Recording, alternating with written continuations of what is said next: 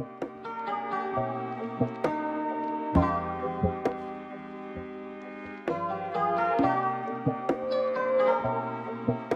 Bienvenue dans cette nouvelle vidéo, elle est dédiée au savon noir africain. C'est un produit qui est fabriqué à base de cendres de feuilles de bananier, de bananes plantain, d'avocat, de coque de cacao ou de tout autre végétaux mélangés à un produit gras, donc comme du karité, de l'huile de palme ou d'autres matières grasses en fait. C'est euh, un produit artisanal euh, biodégradable, zéro déchet, 100% naturel. Normalement, il n'y a pas de parfum dans la version euh, traditionnelle. Et euh, du coup, ça n'a que des avantages, surtout pour les personnes comme moi qui aiment le 100% naturel. Donc là, je vous le compare avec le Doudou Osun. C'est une version du savon noir industriel qui vient du Nigeria, qui est très bien aussi, que j'ai utilisé pendant des années. Mais je vous montre que cette version est beaucoup plus euh, authentique en fait. Euh, enfin la vraie version, c'est celle que je vous montre en fait. C'est celle de cette vidéo d'aujourd'hui. Et euh, je vais vous montrer toutes les utilisations qu'on peut en faire. moi, ça fait deux ans que j'utilise celui-là au quotidien pour le visage, pour le corps, et je l'utilise régulièrement pour les cheveux, pour bien les laver à fond. Donc c'est d'ailleurs la première utilisation que je vous propose. C'est pour les cheveux, donc je découpe euh, du savon noir en tout petits morceaux, on peut aussi le râper, etc. Et j'en verse dans une bouteille que je remplis ensuite d'eau chaude. Et je vais laisser fondre le savon euh, dans l'eau chaude pendant environ une heure. Enfin, je l'abandonne euh, tranquillement et ça va fondre tout seul. C'est un produit magique qui se mélange avec l'eau, qui se mélange avec l'huile. Euh, on peut euh, vraiment euh, l'utiliser de mille façons. Donc une heure après, ça a fondu, c'est liquide. Et je vais le verser dans un récipient comme ça avec un bec verseur pour que ce soit plus facile à appliquer sur le cuir chevelu et dans les cheveux vu que c'est très liquide. Mais on peut aussi le mettre dans une bouteille d'eau tout simplement, une bouteille vide. Vraiment, faut aller au plus simple. Je fais un petit bain d'huile juste avant et puis euh, je vais l'appliquer, vous allez voir que ça mousse beaucoup, abondamment. Ça n'a pas d'odeur, mais ça nettoie très bien, ça enlève les odeurs, ça enlève les pellicules, ça enlève les saletés. Les cheveux sont très très très très propres, vraiment. Par contre, pour être tout à fait honnête, moi j'ai un cuir chevelu hyper sensible, hyper sec. Je fais de l'eczéma même parfois dans le cuir chevelu et il n'y a que l'après-shampoing qui me laisse les cheveux doux pendant très longtemps et euh, enfin je veux dire le cuir chevelu sans pellicule, etc.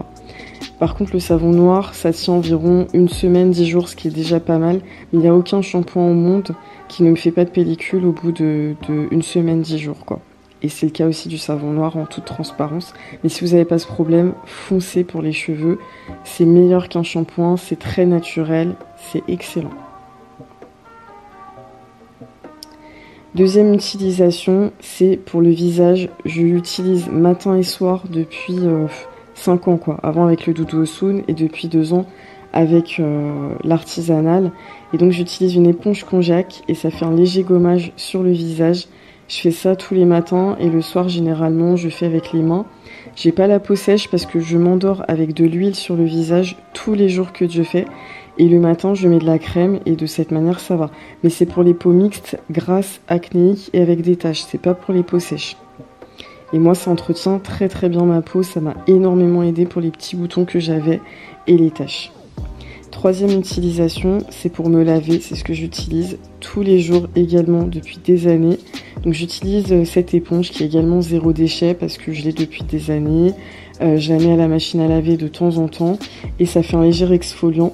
Donc euh, je l'humidifie, je le frotte contre le, savon et puis euh, je me lave. C'est vraiment excellent, c'est aussi des choses que je vous conseille pour le corps et bien sûr après j'hydrate ma peau avec de la crème ou avec du, du karité sur peau humide etc. La peau est toute douce et toute propre, elle n'est pas desséchée.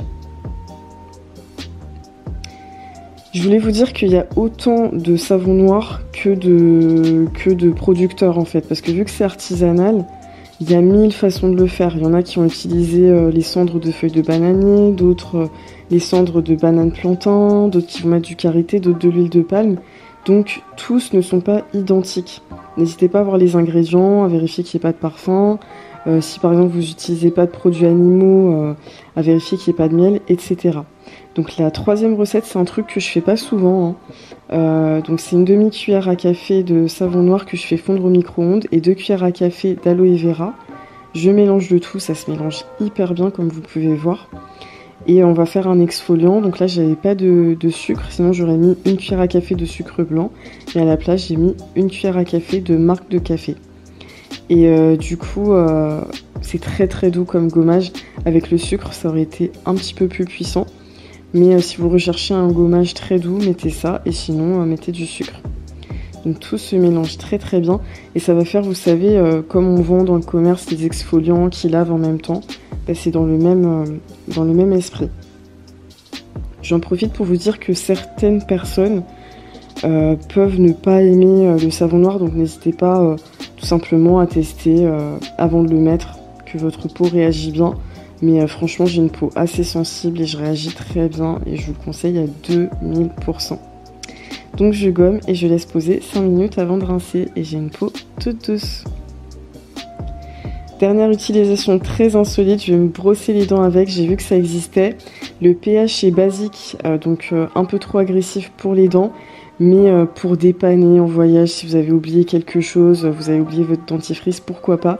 Et je l'ai fait juste pour tester et pour vous prouver que c'est un produit 200% naturel. Et ça a laissé mes dents toutes propres, ça a juste un petit arrière-goût de savon bizarre, mais c'était génial. Dites-moi en commentaire les utilisations que vous faites du savon noir et mettez un pouce en l'air si ça vous a plu. Gros bisous